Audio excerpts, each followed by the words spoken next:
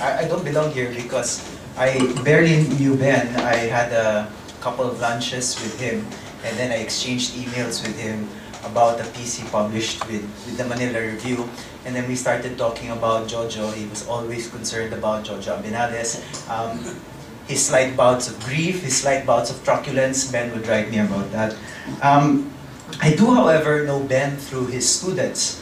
And um, you, you learn a lot about a teacher through, through his students because they end up trying, uh, teaching and mentoring like him.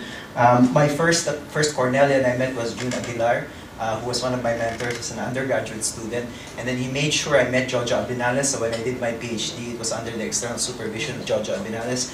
And um, through my relationship with Jojo Abinales, I got sent, shipped off to Kyoto to work with um, Carol Hau, currently on a postdoc. So, and, and, throughout that journey, I've met other Cornellians who've also commented on my work from um, uh, Dominique and also Vince Rafael, who's here.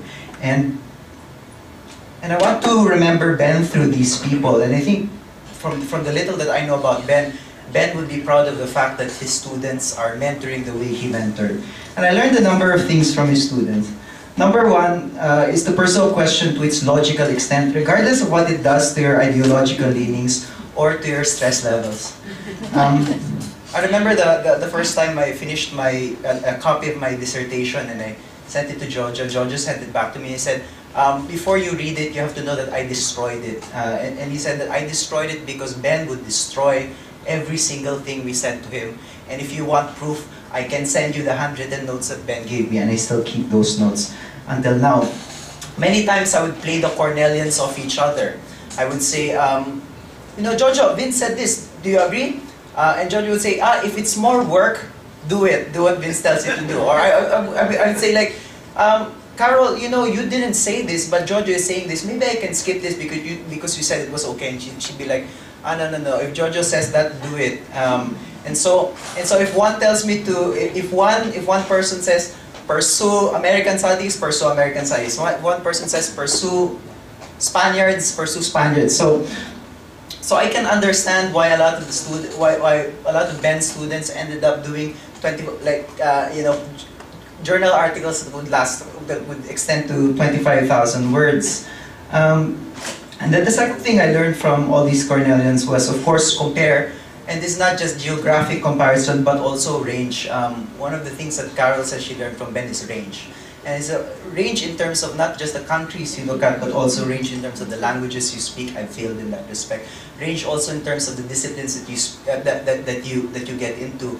My favorite memory of, of my of the person I'm working with now, Carol Hau, is being led to her office and, and being shown a, a big shelf. And Carol, as you know, is a literary studies expert, and she said, look at this shelf. It's a shelf full of macroeconomic books, uh, textbooks on macroeconomics. I taught myself macroeconomics this year. I think you should do the same thing too.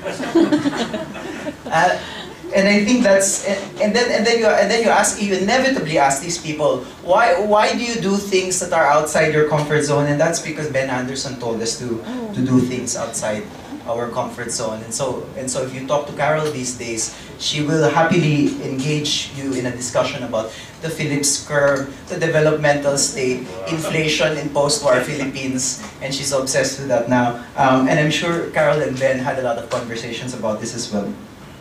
And then finally, um, know your audience. Um, I think a lot of Ben students have made a conscious effort to make sure that even if they're doing world-class work that they're publishing in the Philippines and that their primary audience is a Filipino audience. And, and the temptation for the temptation to not do this in this in this day and age, especially when, when you know, Philippine academia doesn't pay well, nobody reads books in the Philippines, the distribution will not be as good.